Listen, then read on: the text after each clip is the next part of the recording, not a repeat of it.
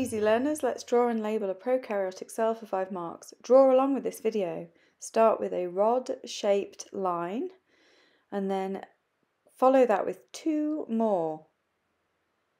Don't let them cross over anywhere. Next, we do the flagella continuous with the membrane and it's quite long. Next, the pili, again continuous with the membrane. Then inside we put some plasmids, some plasmid DNA some genomic DNA that we squiggle and then finish, and then some dots for the ribosomes. Now we'll label them. Your labels must be a straight line touching the object that you're labeling. Cell membrane, cell wall, genomic DNA or nucleoid region.